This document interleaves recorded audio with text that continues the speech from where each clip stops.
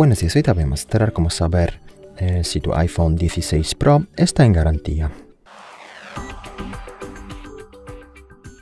Para eso abrimos la aplicación Ajustes, luego en Ajustes abrimos la pestaña General y luego de aquí seleccionamos la opción Información.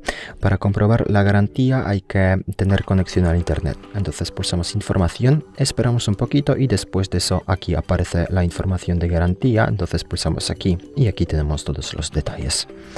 Muchas gracias por ver el vídeo, te entrego abajo, suscribirte al canal. Hasta luego.